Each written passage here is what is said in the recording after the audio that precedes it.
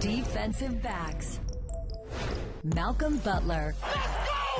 The hero of Super Bowl 49 is named to his first Pro Bowl. He fires down the right side, picked off by Dunny. Malcolm Butler. Josh Norman. Go ahead, young man. You do your thing. The Pro Bowl first timer has returned two of his four interceptions for touchdowns. Fires far side, intercepted by Peterson to the 30. Patrick Peterson has earned Pro Bowl nods in each of his five seasons.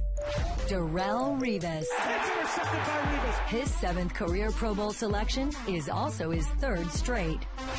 It's intercepted at the goal line. Earl Thomas gets his fifth Pro Bowl nod in his six year career. It's intercepted. It's Kam Chancellor who picks it up. Kam Chancellor.